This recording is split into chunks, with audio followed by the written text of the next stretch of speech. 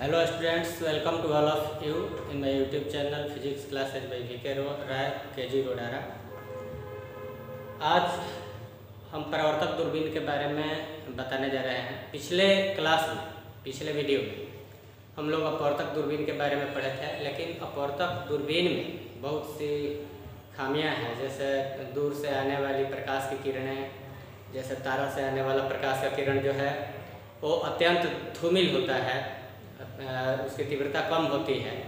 और वैसी स्थिति में लेंस द्वारा, चूँकि अपवर्तक दूरबीन में लेंस का प्रयोग किया जाता है, और लेंस द्वारा उसका कुछ भाग अवशोषित कर लिया जाता है, जिससे उस दूरबीन द्वारा बना प्रतिबिंब जो है, उसकी तीव्रता बहुत कम होती है, जिससे स्पष्ट नहीं दिखता है। दूसरी बात कि लेंस को बनाने के लिए पिघले हुए शीशा को सांचे में ढाला जाता है।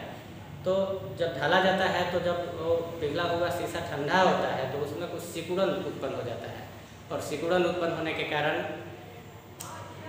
सिकुड़न उत्पन्न होने के कारण भी उसमें क्या होता है परावर्तन की, अपवर्तन की अनियमितता होती है, जिसके चलते प्रतिबिंब स्पष्ट नहीं हो पाते हैं।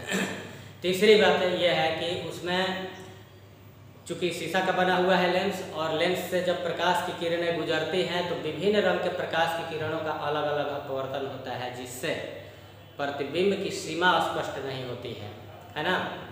तो ये भी एक समस्या है और एक समस्या और भी है कि चूँकि दूर से आने वाली प्रकाश की किरणें धूमिल हैं तो अधिक से अधिक प्रकाश को कलेक्ट करने के लिए, एकत्रित करने के लिए बड़े द्वारक का और तो ये उत्तल लेंस की ज़रूरत होती है अभिदृश्यक के रूप में, है ना? तो बड़े द्वारक का उत्तल लेंस बनाते हैं तो उसकी मोटाई काफ़ी अधिक हो जाती है। शीशा का घनत्व तो बहुत ही अधिक होता है, अठारह हज़ार किलोग्राम प्रति घन मीटर होता है है ना? तो उसका भार भी काफ़ी अधिक हो जाता है उस लेंस का, लेकिन किनारा पतला होता है, शीशा कमज़ोर होता है और उस लेंस का किनारा पतला होता है तो उसको फ्रेमिंग करते समय परेशानी आती है। एक परेशानी तो ये आती है कि उस पतले किनारे को टूटने का डर रहता है। और दूसरी परेशानी ये आती है कि फ्रेमिंग करते समय किनारे किनारे का जितना भाग ढकेगा, उतना दूर कम प्रकाश आएगा, है ना? उसके चलते भी प्रतिबिंब में जो प्रतिबिंब की तीव्रता है, वो तीव्रता कम हो जाती है है ना? तो ये सब परेशानी है अपवर्तक दूरबीन में और इन सब परेशानियों से बचने के लिए हम लोग परावर्तक दूरबीन का प्रयोग करते हैं। परावर्तक दूरबीन वैसे दूरबीन को कहते हैं जिसमें वस्तु लेंस के रूप अभिदृश्यक के रूप में, है ना? जिसमें अभिदृश्यक के रूप में लेंस का नहीं, बल्कि एक बड़े द्वारक के अवतल दर्पण का प्रयोग किया जाता है है ना? तो देखते हैं परावर्तक दूरबीन। परावर्तक दूरबीन भी मुख्य रूप से दो प्रकार के परावर्तक दूरबीन प्रचलन में है। पहला तो न्यूटोनियन दूरबीन है, न्यूटोनियन टेलीस्कोप, है ना? इसमें अभिदृश्यक के रूप में एक बड़े द्वारक का अवतल दर्पण होता है। दूर स्थित वस्तुओं से आने वाली समानांतर प्रकाश की किरणों का परावर्तन होता है इसके द्वारा। देख सकते हैं यहाँ पर दो किरण है, एक किरण ये और एक किरण जो है ये ये। दोनों एक दूसरे के समानांतर हैं और दोनों इस दर्पण पर आपतित होती है, दोनों किरणें आपतन होने के बाद, आपतन कोण बराबर? परावर्तन। टेलियम के अनुसार इसका परावर्तन होता है और दोनों परावर्तित किरणें यहाँ पर देख सकते हैं, ये दोनों परावर्तित किरणें किसी बिंदु पर फोकस तल में फोकसित होती, लेकिन इसके पहले ही एक समतल दर्पण रख दिया गया है। एम इसका नाम दिया गया है एम समतल दर्पण का। और समतल दर्पण के द्वारा फिर से इसका परिवर्तन हो जाता है और आईवन बिंदु पर प्रतिबिंब बनता है। यह प्रतिबिंब जो कि आईवन बिंदु पर बनता है, यह नेत्रिका के लिए वस्तु का कार्य करता है है ना? नेत्रिका एक उत्तल लेंस होता है, कम फोकस दूरी का, है ना? उसके लिए ये प्रतिबिंब वस्तु का कार्य करता है है ना? यहाँ से चलने वाली जो किरणें हैं, उनका अपवर्तन होता है, देख रहे हैं? इधर अपवर्तन हो रहा है, और ये अपवर्तित किरणें कहाँ से आते हुए प्रतीत हो रही हैं? आई बिंदु से आती हुई प्रतीत हो रही है। मतलब इन किरणों को पीछे की ओर बढ़ाते हैं तो आई बिंदु पर मिल रही है, अर्थात ये किरणें आई बिंदु से आती हुई प्रतीत हो रही है ना? अर्थात अंतिम प्रतिबिंब जो है, आई बिंदु पर ही बनेगा। अब हम देखते हैं, ये जो लेंस है, नेत्रिका नेत्रिका का ये जो है मुख्य अक्ष है। डॉटेड लाइन से जिसे आप देख रहे हैं तो ये मुख्य अक्ष है, मुख्य अक्ष पर आई बी अंतिम प्रतिबिंब बनता है जो कि आभासी है और आवर्तित है ना? तो यहाँ पर चूँकि अभिदृश्यक के रूप में बड़े द्वारा का अवतल दर्पण प्रयोग किया गया है तो दर्पण में तो प्रकाश अंदर प्रवेश करता ही नहीं है उसका परिवर्तन होता है। तो अब जब प्रकाश अंदर प्रवेश ही नहीं करता है तो अवशोषण की क्षम अवशोषण की संभावना भी नहीं है, अर्थात प्रकाश अवशोषित नहीं होगा और प्रतिबिंब की तीव्रता अधिक होगी, यह स्पष्ट प्रतिबिंब बनेगा, है ना? जब प्रतिबिंब अनंत पर बनता है तो वैसी स्थिति में आवर्धन क्षमता होता है, इस परावर्तक दूरबीन का M equal to F O बटा एफ़ है ना? M equal to F O बटा एफ़ ई ये होता है आवर्धन क्षमता, है ना? यह कोणीय आवर्धन होता है। अब हम लोग देखेंगे दूसरे प्रकार का जो परावर्तक दूरबीन है, ये तो पहला था न्यूटोनियन दूरबीन और दूसरा केसी ग्रेन की नेत्रिका है। केसी ग्रेन केसी ग्रेन की नेत्रिका।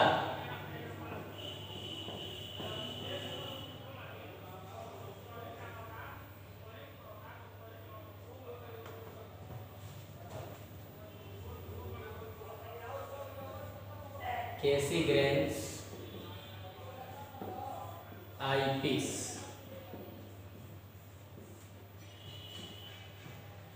केसी ग्रेन्स आईपीस है ना?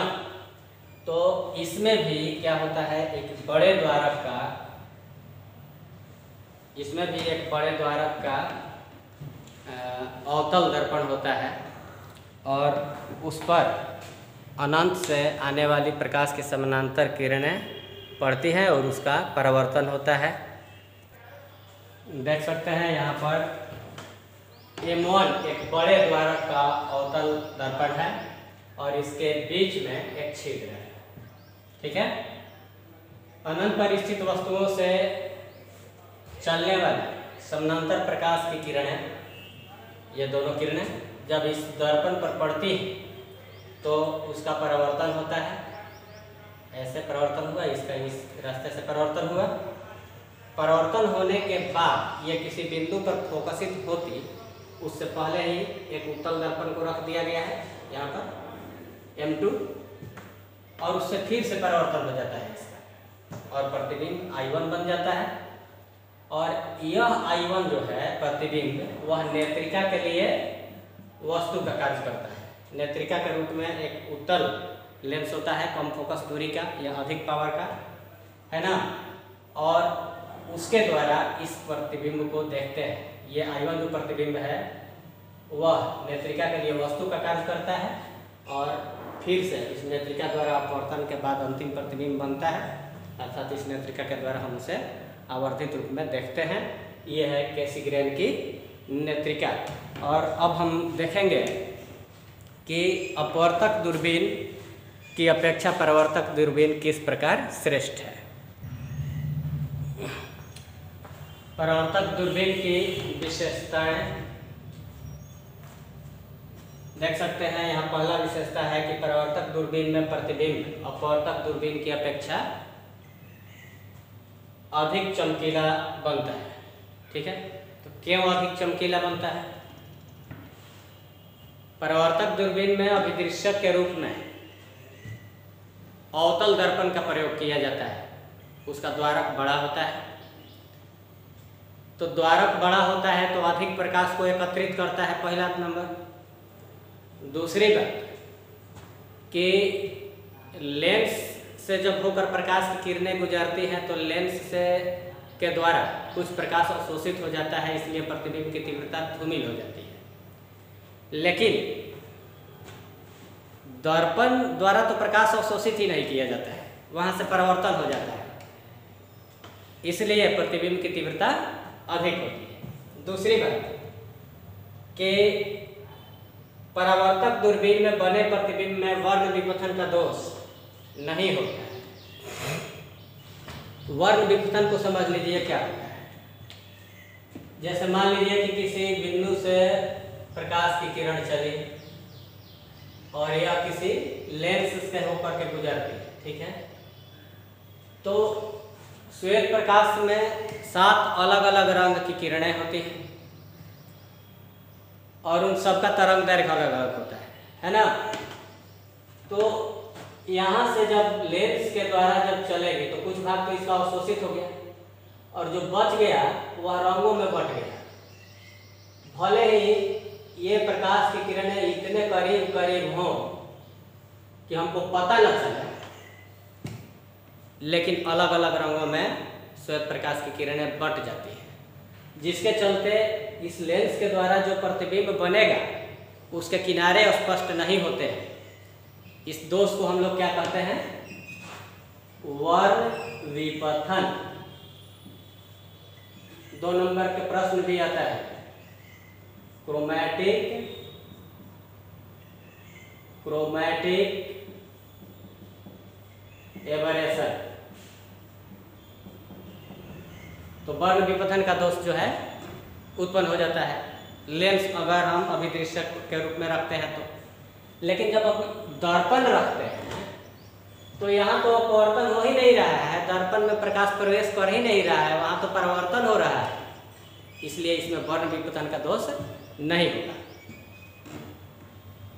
तीसरा जो है कि नहीं परावर्तक दूरबीन में गोलीय विपथन का दोष होता है लेकिन इसे पर, परवलय परवलय के आकार का परवलय आकार अवतल दर्पण का प्रयोग करके इसे दूर भी किया जा सकता है। ठीक ना? परावर्तक दूरबीन में परवलयाकार दर्पण का उपयोग करके प्रतिबिंब में गोलीय विपथन का दोष को दूर किया जा सकता है। लिखा हुआ है। चौथी बात यह है कि दूरबीन के अभिदृश्य का बड़ा होना अनिवार्य क्या बड़ा होना अनिवार्य